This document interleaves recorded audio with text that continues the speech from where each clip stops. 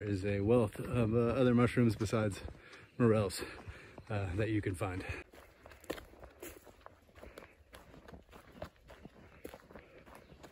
Oh, cool. Here's an edible mushroom. This is one I usually find in the fall. Surprised to see it here in May. But that is the pear-shaped puffball. It's an edible puffball mushroom that grows on wood.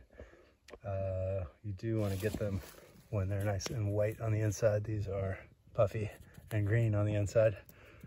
So those are no longer edible, but that's a cool mushroom, especially in May. And here are some more mushrooms. Have some uh, deer shield mushrooms. This is another edible fungus.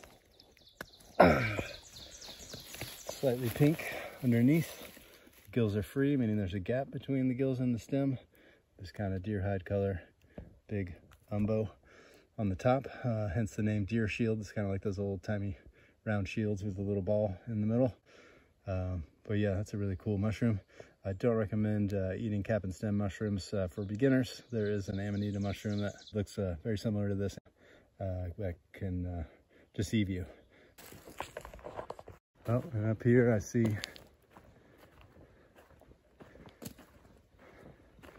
my favorite mushroom. The oyster mushroom. Wow, look at that flush of oyster mushrooms. It's beautiful.